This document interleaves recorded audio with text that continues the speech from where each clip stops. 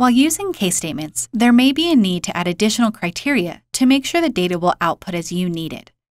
The syntax for multi-criteria is the same as single criteria. However, you use AND and OR statements to evaluate more than one criteria at a time. In this example, we have a table of employees that shows name, role, start date, and the employee type. As an example, let's find the minimum salary for each employee based on the employee type. We can see the basic salary calculation with this query, but let's add one small edit we want to change it so the minimum salary for a full-time employee raises after one year of employment. To do this, we will want to utilize the AND function. Here we see the added case statement in practice.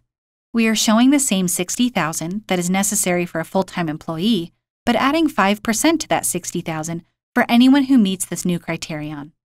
Now let's say that we also want to increase the base salary if the employee is a manager. To do this, we can use an OR statement.